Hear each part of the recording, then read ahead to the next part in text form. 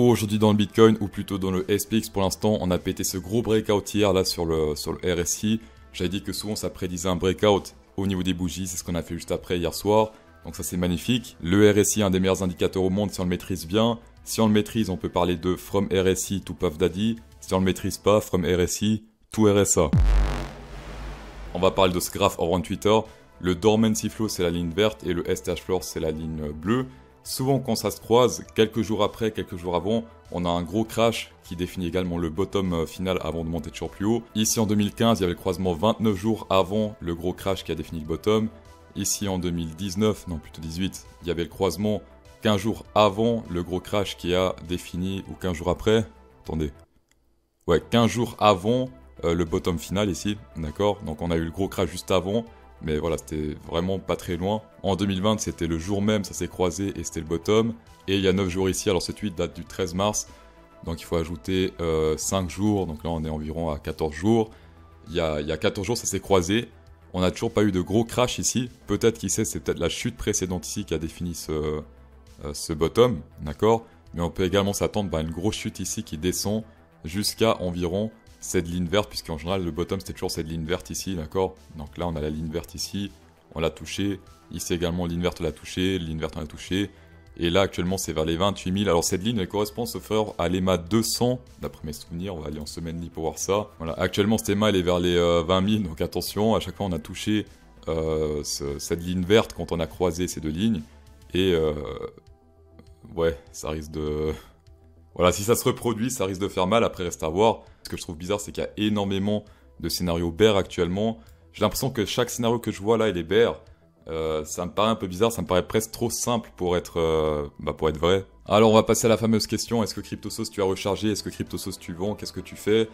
Alors, euh, pour commencer, on a un range ici, énorme range ici, on a un range là, on avait un énorme range ici, on a également bah, un range actuellement, D'accord Range veut dire quoi? C'est-à-dire que gros mouvement, soit la hausse, soit la baisse. J'ai toujours ma target vers les 22 000 qui correspond plus ou moins à l'EMA 200. Sauf que, voilà, actuellement, énormément de scénarios baissiers. Sur Twitter, je vois que des scénarios baissiers long terme.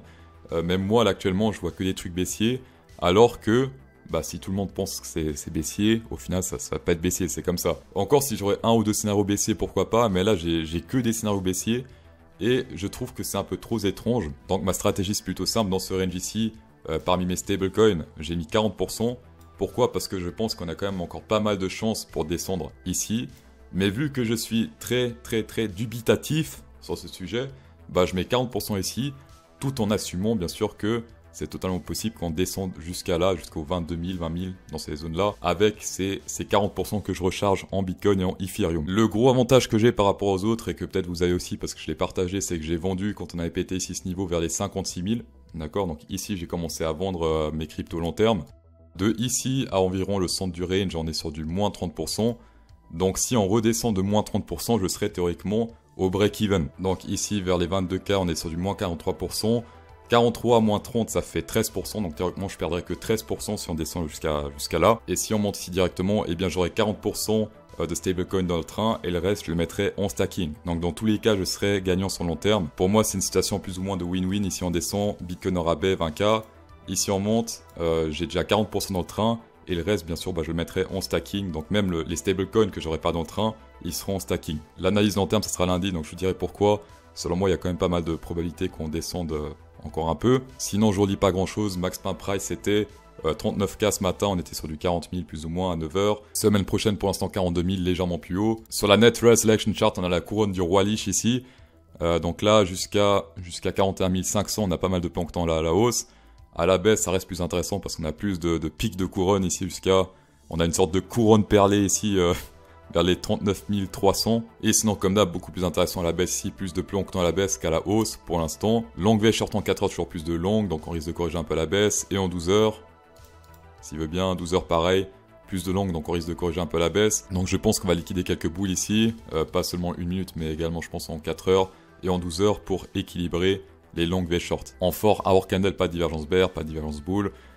Euh, Qu'est-ce qu'on peut dire là également? Bah gros volume bear spécial go ici. Il y a une harmonique pattern bear potentiel, un crabe ici dans cette zone là, entre les 53 000 et les 47 000 ici. Il y a un crap potentiel bear qui risque de descendre si on atteint cette target. Mais en tout cas, pour l'instant, gros volume bear spécial go ici, donc on se fait rejeter par ce, niveau. Comme d'hab, si on prend ce top là, ce bottom, zone danger. Si on prend ce top là et le bottom absolu du range, ici, on se fait rejeter par la zone du hasard, le hasard. Pour les targets de la zone hasard, ici, alors on peut théoriquement prendre ce pic là, mais lui il a déjà fait son effet à la baisse. Euh, c'est assez rare que ça arrive ce genre de truc. Personnellement, je vais prendre ce top là de ce, de ce rebond ici et non pas ce, ce pic.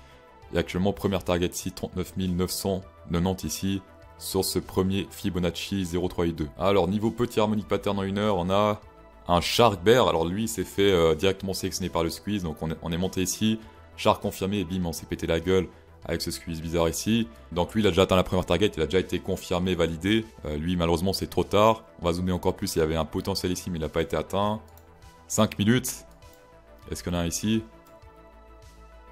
Alors, ici, on avait en 5 minutes un Shark Bull qui atteint presque la deuxième target ici, d'accord? On était vraiment au millimètre près. Et on avait également un Shark potentiel dans cette zone qui n'a pas été atteint.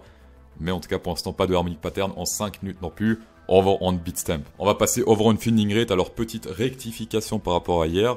Euh, J'avais dit qu'on avait accumulé ici euh, au niveau de l'open interest on était passé, ce qui est vrai. On a également accumulé dans le bear ici dans l'été passé, ce qui est vrai. Ici on fait plus ou moins la même chose sauf que c'est neutral. Il y a autant de boulets de bear ici, il n'y en a aucun qui est vraiment dominant. Alors que l'été précédent, ici, c'était clairement les bears qui étaient dominants ici, qui faisaient des grosses tiges, des grosses vagues à la baisse. ici, ce qu'il faudrait faire selon moi, c'est attendre une sorte de fake out, d'accord, une fake out. Par exemple, attendre une grosse vague rouge ici, pour ensuite tout liquider tous les bears à la hausse, ou une grosse vague verte ici, pour liquider tous les boules à la baisse. On attend les grosses vagues pour continuer. Ici, pareil. Ici, on avait ce range ici. On attendait les grosses vagues ici, grosses vagues rouges, pour ensuite continuer la hausse. Euh, ici, c'était la tendance totalement boule. Bah là, c'était très simple théoriquement. Euh, on avait toutes les petites vagues rouges ici, c'était des zones d'achat. Achat ici, c'était rouge. Achat ici, c'était rouge. Achat ici, c'était rouge. Et même théoriquement ici, on pouvait acheter. C'était le petit bottom ici avant de monter quand même pas mal de pourcentage. Donc ici c'est très neutral, ce qu'il faudrait faire selon moi c'est attendre que quelqu'un devienne dominant ici, boule ou bear, avant de, de, les liquider quoi. Donc si c'est boule comme ça, hop, on se pète la gueule. Si c'est bear, hop, on pète à la hausse. Niveau heat map, over on FTX ça change pas, toujours beaucoup d'intérêt ici à la baisse, mais surtout over on Byte. Alors sur Binance c'est un peu indécis, on va quand même regarder sur Binance qui est le, numéro 1. Ici c'est un peu bordélique, quand même plus à la baisse qu'à la hausse. Mais le plus intéressant ici c'est euh, Byte. Il est où Byte? Putain je le vois pas. Ah ici voilà. Byte, ici on a énormément d'humeur à la baisse ici qui ont fait office de gros supports depuis maintenant pas mal de temps. Cours cryptosos.fr où j'explique également comment je m'organise pour investir sur le long terme mes points d'entrée et de sortie, et comment j'ai fait pour être toujours dans le game après 5 ans, alors que la majorité dure max 1 an dans le game et après c'est terminé. Ça se passe sur cryptosos.fr à un prix plus que correct, tapez dedans. On va passer over on SPX, alors là c'est le gros bordel, on va faire indicateur par indicateur, parce que sinon on va, on va rien comprendre. On va virer tout ça, et on va mettre uniquement le EMA. Alors pour commencer, comme dit hier, on a pété le RSI ici à la hausse, on n'avait pas encore pété cette résistance bougie, j'ai dit quoi hier dans la vidéo, souvent les pétages de RSI prédisent un pétage de bougie.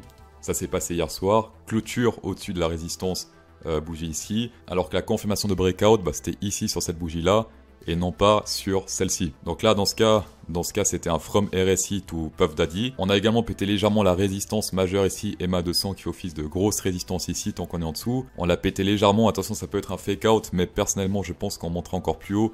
On verra juste après pourquoi. En tout cas, pour l'instant, grosse résistance pétée. La dernière fois, on s'est fait rejeter ici à la baisse. Là, on a, on a pété à la hausse. Alors, c'est légèrement, mais on a quand même pété à la hausse. Et pourquoi je pense qu'on va monter? Bah, simplement, regardez ici. J'avais pas vu hier. C'était, si on prend les Harmonic Pattern Special Go ici, eh bien, on a confirmé un Shark Bull ici. Dans la première target, elle est ici vers les 4531. Euh, Actuellement, 80% de chance qu'on atteigne cette target ici. Ça correspond également à mon niveau Fibonacci plus ou moins. Si on prend le bottom, regardez, presque pareil ici, c'est le niveau que j'ai dit hier, voilà, 4520 ici. Légèrement plus bas, mais c'est quasiment le même niveau. Petit détail, after montage, on a également, alors je vais pas dit dans la vidéo, mais il y a également une triple divergence boule ici sur le, RSI. Voilà, tapez dedans. Ça, c'est que la première target, je vous rappelle, mais souvent avec les harmonic patterns, en tout cas ici sur le SPX, on atteint toutes les targets, au moins. Par exemple ici, euh, ça c'était le Shark Bull, on atteint toutes les targets, on a totalement pété à la hausse. Le dernier ici, c'était celui-ci, un Shark, on a pété totalement à la hausse. Ici, on a un petit shark, bah, on a pété totalement à la hausse. Euh, ici, alors lui, il a, lui, il a échoué. Voilà, 20% d'échec, lui, il a échoué.